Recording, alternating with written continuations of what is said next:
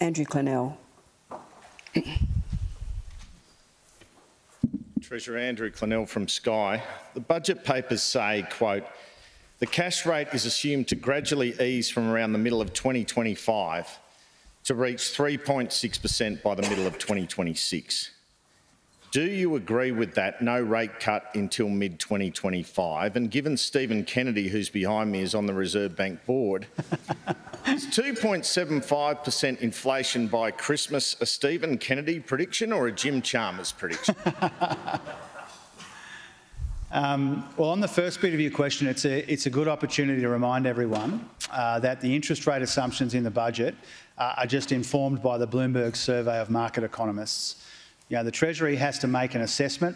Ben's nodding because I've just given his uh, employer a big rap and mentioning uh, that we trust the, uh, that we rely on uh, the information from the Bloomberg survey.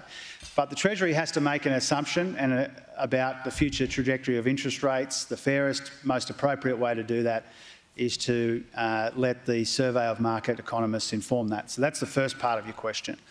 Uh, on the inflation forecasts, uh, of course that they are Treasury forecasts in the usual way that Treasury forecasts all elements of the economy for governments of both political persuasions.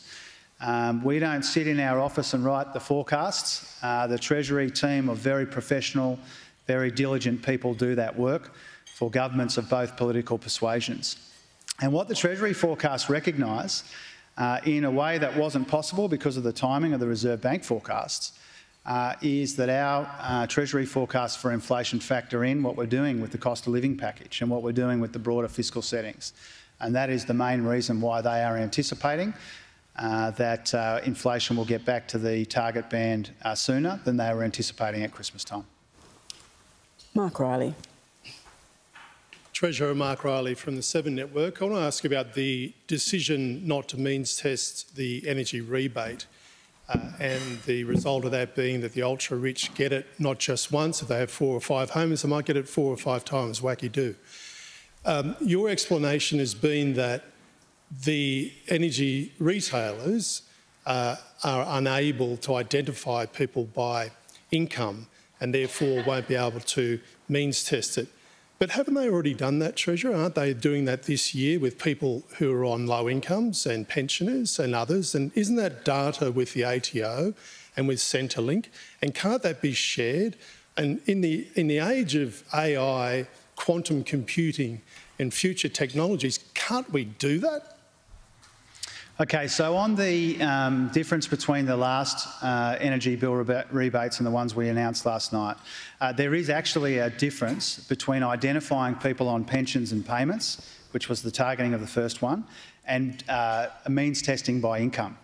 Uh, it is actually a very different um, uh, way of means testing and targeting. The two ways that you can do it with the existing systems are either people on pensions and payments or the whole, whole cohort, every household. Um, the uh, ATO has tax information, but they have no uh, arrangements to share that with energy retailers. We would have to change fundamentally the data sharing arrangements. That would take time and money in order to do that. So the judgment that we made uh, was that the most efficient uh, way to give cost of living relief to people on low and fixed incomes, but also people on middle incomes, to provide that cost of living relief in middle Australia as well, uh, was to provide it to every household. Now, people on the highest incomes uh, are not our focus, they're not our concern.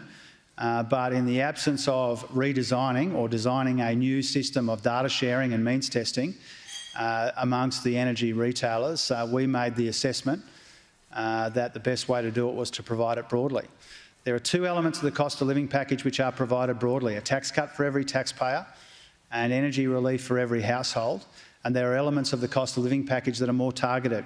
Almost a million renters get rent assistance. Uh, people uh, on the concession cards in the PBS get a longer freeze uh, in the cost of medicines. Students get debt relief. Two broad parts of the cost of living package and some targeting as well elsewhere.